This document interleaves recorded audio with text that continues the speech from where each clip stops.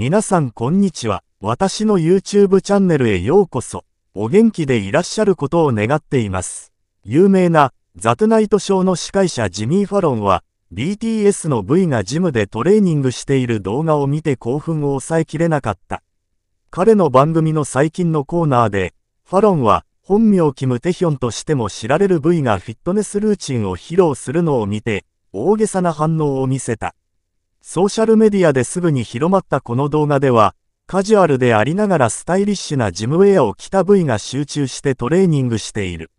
ジミー・ファロンを含むファンや有名人が、このアイドルがフィットネスを維持しながらも、自然にハンサムに見えることに魅了されるのに時間はかからなかった。BTS のファンとして有名なファロンは、グループのメンバーに対する称賛をしばしば表明している。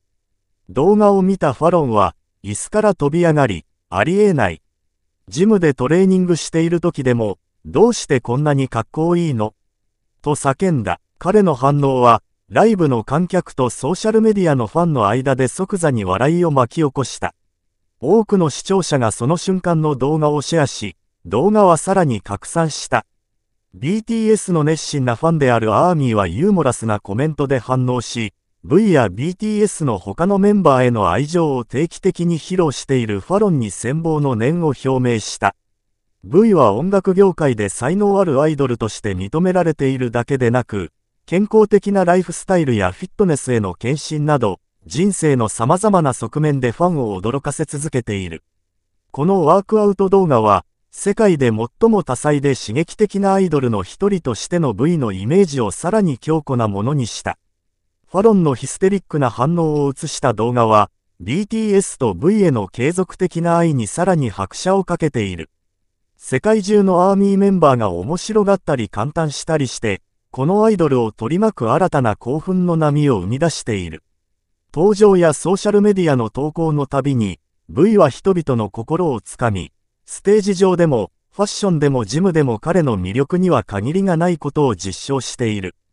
ファロンと V のこの瞬間は、BTS とザトゥナイトショーのすでに深いつながりに新たな数秋を加えるものです。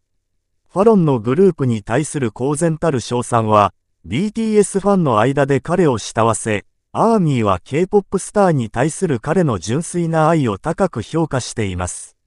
このような瞬間は、BTS の世界的な広がりと影響力を強調し続け彼らの影響が音楽を超え、ファンとセレブリティの両方に感動を与えていることを示しています。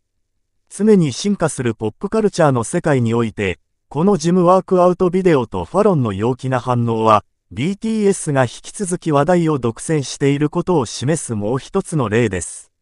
新しいバイラル瞬間が生まれるたびに彼らのスター性は高まり続け、世界中のエンターテインメント業界に紛れもない足跡を残しています。皆さん、今日の動画は以上です。ご視聴ありがとうございました。感想はコメント欄に書いてください。次の動画でお会いしましょう。お体に気をつけて、さようなら。